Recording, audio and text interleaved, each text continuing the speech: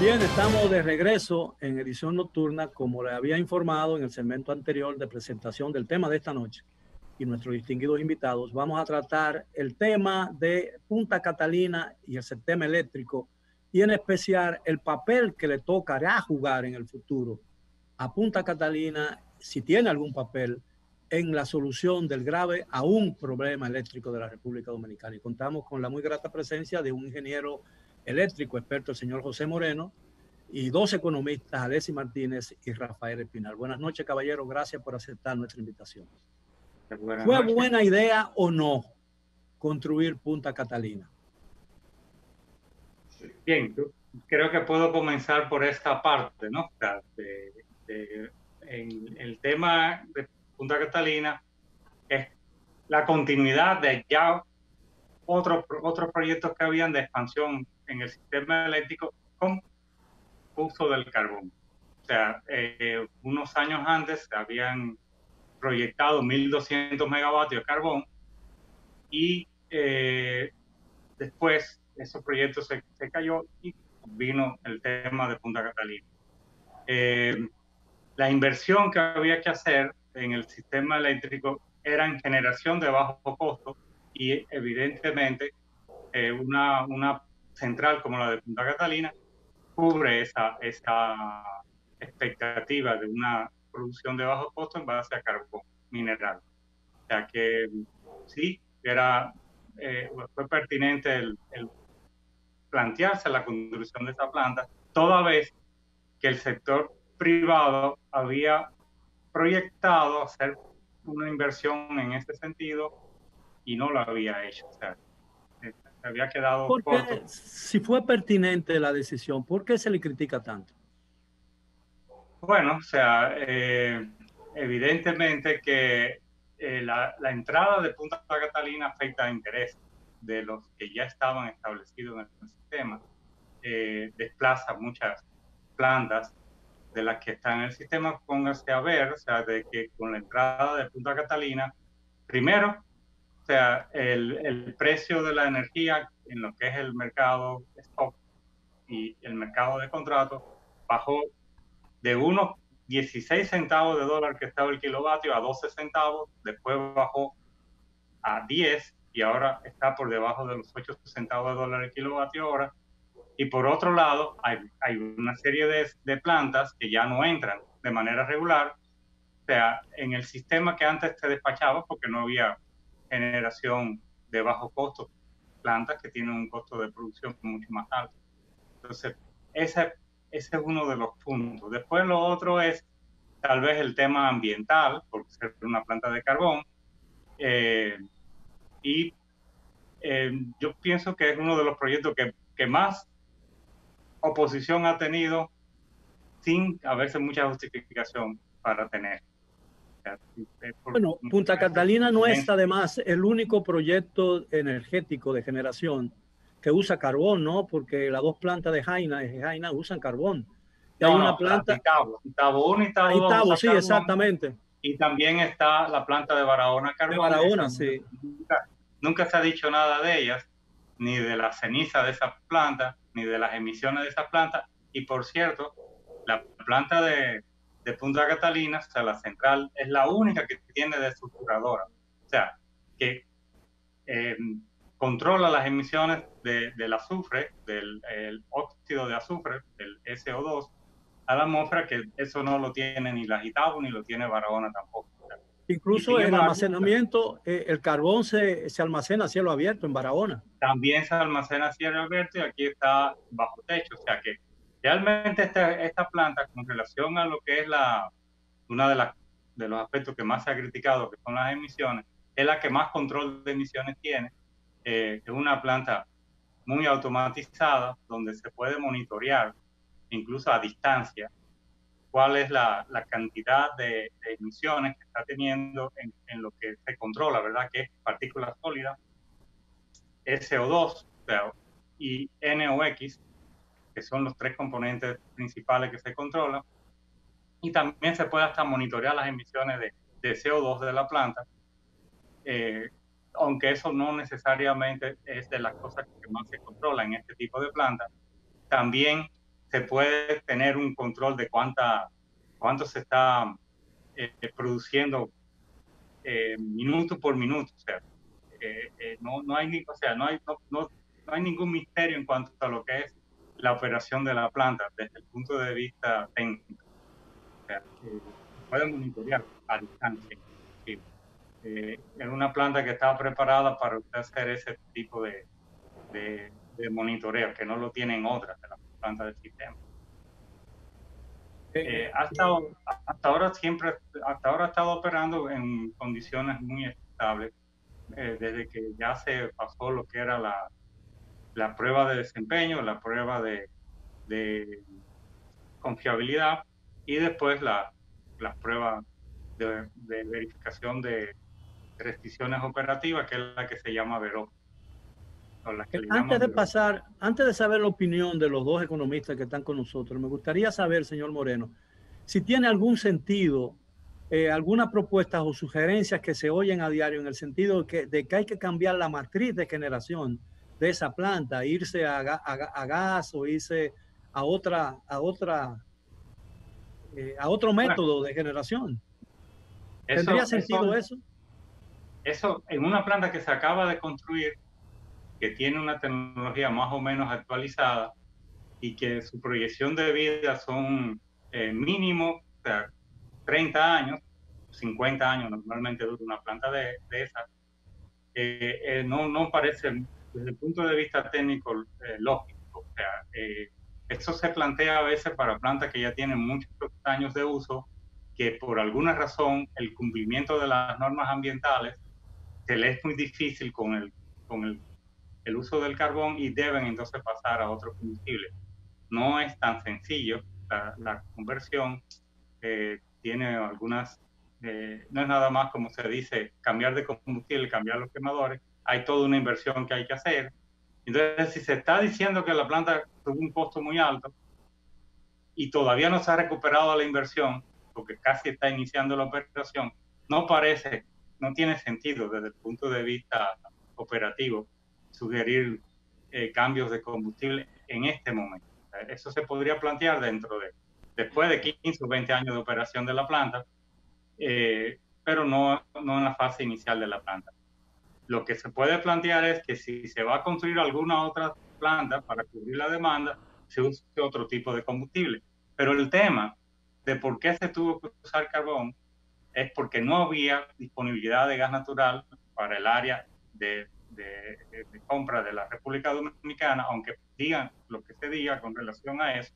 Y por eso es que apenas ahora, hace unos meses, es que hay, que hay gas disponible para la República Dominicana y por eso otras plantas se están convirtiendo también a gas natural ahora, no, no antes del, del 2019. O sea, eh, en el 2012 no había disponibilidad de gas natural, no había disponibilidad de gas natural, aunque se dijo que existía esa disponibilidad eh, en, en, el 2015 ni en el 2016, y solo ahora es que realmente se tiene esa disponibilidad, luego entraría dentro del de las alternativas de uso del gas natural a partir de ahora, o sea, de cualquier otro proyecto que se, que se inicie ahora, en el 2020, para que esté listo tal vez en el 2023, 2024 o 2025, ahí sí se podría explorar el uso del gas natural.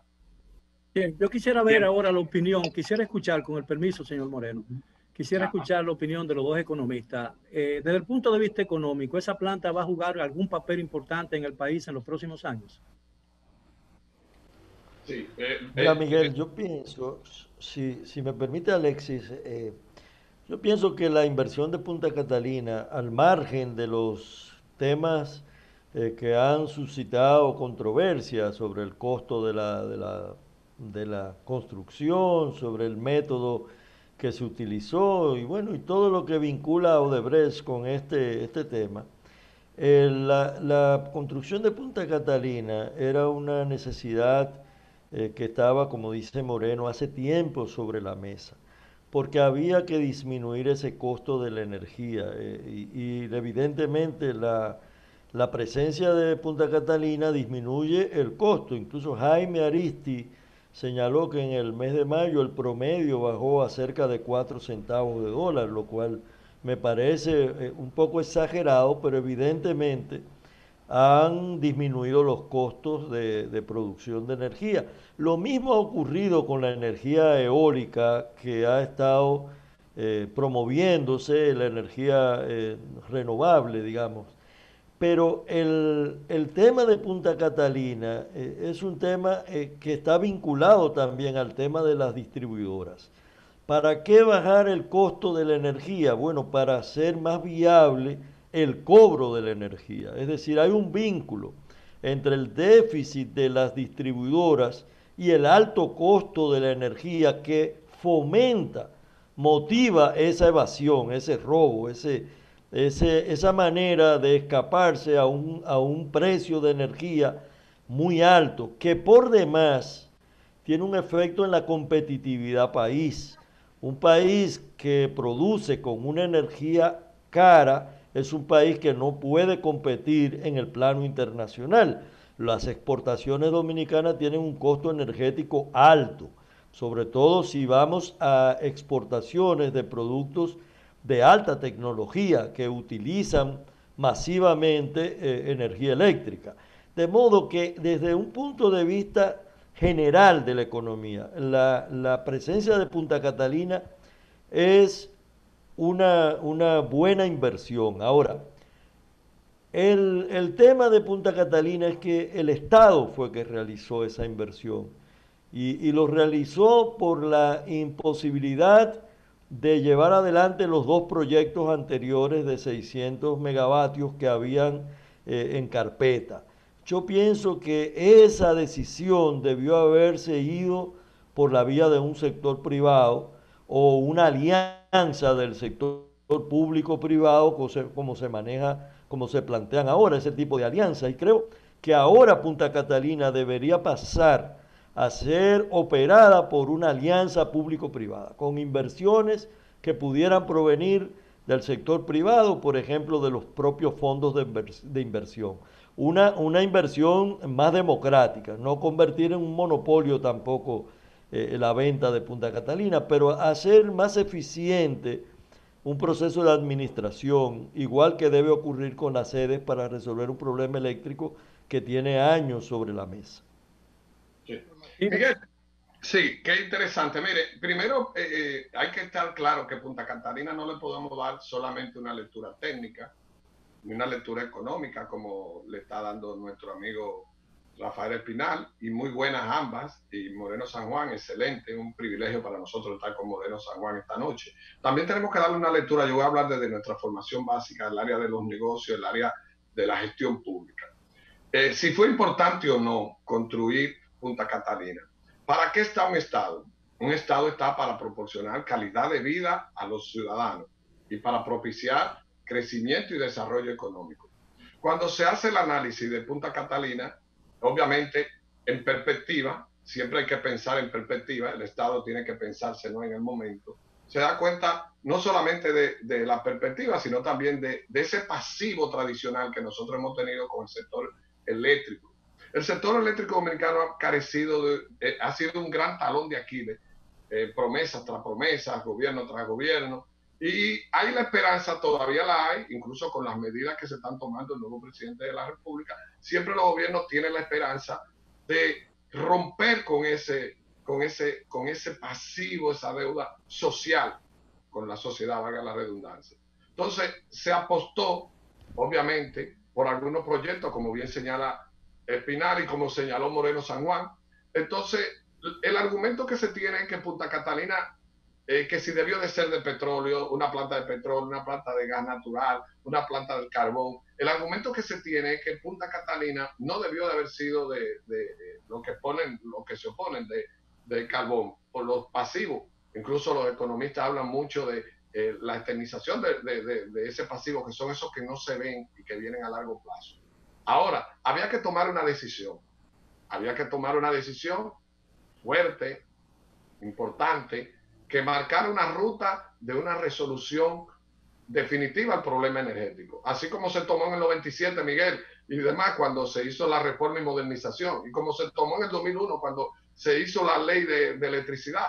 Es decir, son marcos que te trazan una ruta. eso Punta Catalina también trató de trazar una ruta.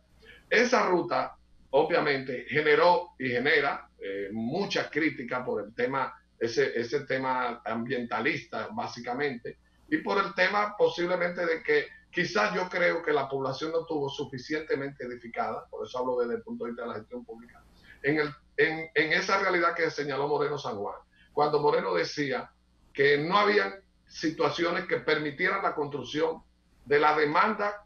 Recordemos que aquí hay más usuarios que eh, clientes, ya dándole una visión de, negocio, como decía eh, mi amigo Espinal. Eh, la Punta Catalina había que abaratar el costo de la energía eléctrica y había que entrar con un, con con con un proyecto pesado que lo permita para evadir, entre otros aspectos, en la parte de la, de la morosidad, del robo de energía eléctrica y esa serie de elementos. Entonces se entra con Punta Catalina, pero no se pensó, eh, eh, no se socializó lo suficiente, o quizá el Estado no pudo eh, convencer en gran medida a muchos de los que se oponen. ¿Por qué fue que se eligió esa planta al carbón?